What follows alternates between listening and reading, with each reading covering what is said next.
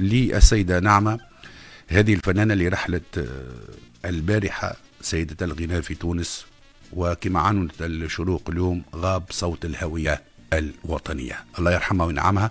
نسترجع ما قاله علي الورتاني في مرة هكا ومرة هكا على نعمة. الإربعاء 23 سبتمبر 2020 مرة هكا ومرة هكا عدد 64 السيدة نعمة سيدة الطرب. تولدت حليمة في أزمور بالوطن القبلي. في 23 فيفري 1934 في عائلة محافظة من ذرية سيدي معاوية الولي صالح. بوها العروسي كان فنان همه الوحيد الغناء في الأفراح. كان مرح ويخلق جو فرحة في كل المناسبات اللي يشارك فيها وكان رجل أنيق تقول عليه حليمة. والدي كان رجل جميل وكان نجم يعجب برشا بنات القرية في جبته الخمري وكان رجل رقيق. جدها أحسن الشيخ بن معاوية كان رجل تقي جدا وصاحب قوة بدنية خارقة للعادة. أما أمها خديجة فكانت من أجمل نساء القرية. كتبوا عليها شعراء برشا غزل وكانت من صفاتها جمال شعرها الطويل الرطب. وفي عمر ستة أشهر حدث فراق بينها بين أمها وأبوها. ما كانتش أمها تحتمله. وهكا قررت مغادرة أزمور وتعدت السفرات بين العاصمة وبين أزمور.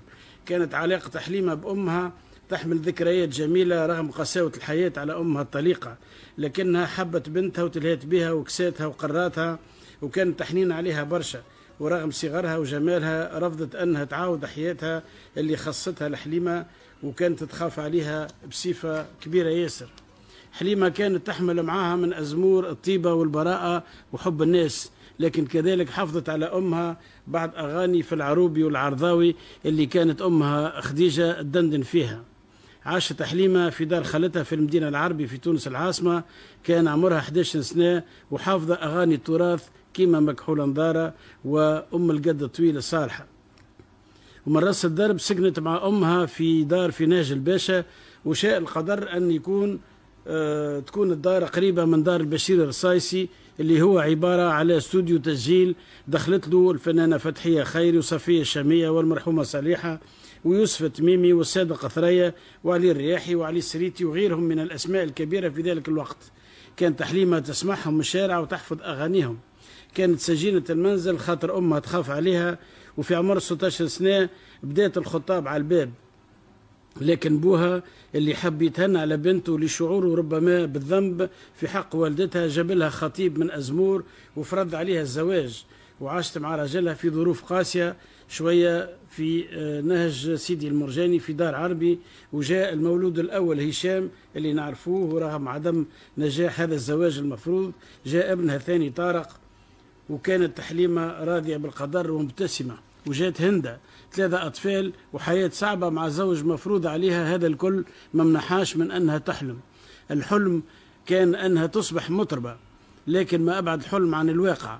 كانت تحب تغني في العروسات وكانت الأولى على الركح وبشوية بشوية ولاو يطلبوها باش تغني في الأعراس والحفلات الخاصة. في حي سيدي المرجاني العتيق حتى لين جاها جارهم رجل طيب وطلب منها تغني لفائدة جمعية المكفوفين. وغنيت أغنية حبيبي لعبة الهجر والجفا وكانت بجانب الكبيرة عليا وكذلك ناريمان وكان هذا في دار الجلد كانت فرصة باش دخلت حليمة للرشيدية وتلقات مع صالح المهدي اللي غير لها اسمها وسماها نعمة. وأعطاها أغاني ما زالت اليوم تتغنى وتتسمع بكل محبة. دنيا هانية وإحنا فيها. يا ناس مكسح قلبه وخاصة الليل آه يا ليل جيت نشكيلك من تلحينه وكلمات محمد الجموسي وأما الشيخ مسترنان خميسترنان فلحن لها شرع الحب ومحلاها كلمة في فمي كلمات الهادي العبيدي وغني يا عصفور. وكانت الإذاعة تبث حفلات الرشيدية كل 15 يوم على المباشر وهكا زادت تعرفت نعمة ونجحت في كامل التراب التونسي. وأمام النجاح هذا والشهرة طلقها رجلها لكن حبها للغناء خلاها سعيدة بالنجاح بينما كانت أمها غاضبة وأبوها يرى في الفن وصمة عار وهي من ذرية الشيخ حسن بن معاوية. كانت حاسة بالمرارة لكن حب الفن كان أقوى وظروف البلاد وعقليتها ما عاونتهاش برشا لأن المجتمع كان في هذا الوقت ينظر للفن نظرة خايبة. سنة 58 دخلت نعمة كموظفة في الإذاعة ضمن المجموعة الصوتية اللي كانت فيها صالحة ونعرف أن صالحة توفيت عام 58 وعليا وبشيرة ونادية حسن. وحتى الميدان الفني ما قبلش بسهولة نجاحها ولكنها صمدت في وجه الصعوبات وجات غنية صالحة أم القد طويل كانت مطلوبة برشا من الجمهور وساعات تغنيها مرتين في حفلة واحدة. لكن النقاد راوا اللي الأغنية هذه فسدت ذوق الناس في أغنية تونسية آه على غرار لا يعتني بشد الهواية دوجة اللي لحنها خميس ترنان وفازت بأول جائزة في مهرجان صالحة عام 59 60 وكتبوا عليها الصحفيين أن أغنية صالحة لا تصلح وعندها مسؤولية في تدهور الأغنية التونسية. لكن بعض الملحنين كانوا فاهمين حلاوة الصوت متاع نعمة وعارفين قدرتها على النجاح وأكثر واحد فيهم هو الشادلي أنور وكان الانسجام كبير برشا بيناتهم. برشا ملحنين لكن كان نصيب الأسد للشادلي أنور ونجاحات لا تحصى ولا تعد. ما زالت ساكنة في الذاكرة متاعنا. لبستك من عطفي حلة. كلمات أحمد خير الدين بين الوتر والراح. كلمات عبد الرحمن النيفر. هندة هندة زي الوردة عبد المجيد بن جدو. عميرات نحبك يا عمر. كلمات رشيدة ماجري. يا حب مكبر داك في مفعولك هذه حمادي الباجي. أسفي أنك لم تدرك حنيني قصيدة لزبيدة بشير الرائعة وغنت تلومني الدنيا إذا أحببته نزار قباني. أما أنا فكان حظي أن قبل أغنية العمر بين يديك اللي تكتبت وأنا ما زلت في معهد خزندار وكان وقتها سي عبد المجيد بن جدو هو المسؤول عن القسم الأدبي. وتعدى النص القسم الموسيقى واختار الشادلي أنور اختاروا الشادلي أنور ولحنوا وغنته نعمة وتسجل في عام سبعين. توا خمسين سنة والأغنية تذاع باستمرار. نحب نستغل الفرصة باش نشكر السيدة نعمة اللي فضلها هي اختارها محمد اختار محمد بودينا الأغنية والفريق متاعه في مئة أغنية الخالدة. علما وأن الشاعر محمد بودينا كتب لها حمامات يا جنة وتوسمت فيك الخير وغيرها.